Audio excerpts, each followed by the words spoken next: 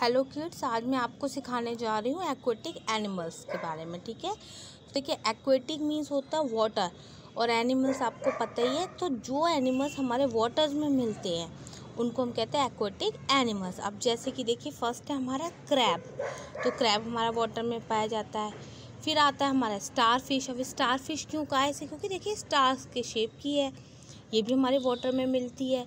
Sea horse अब ये horse की शेप का है, पर सी में रहता है, इसलिए इसको सी हॉर्स कहते हैं।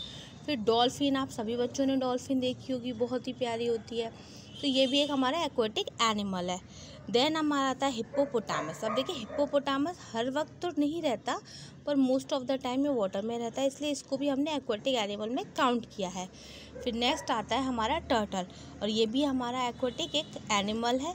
अब आप इनको देखें और लर्न करें, और आपको सारे के सारे ये मोस्टली आप कार्टून्स देखते हैं, उसमें आपको ये दिखाई देते हैं। And thanks for watching the video kids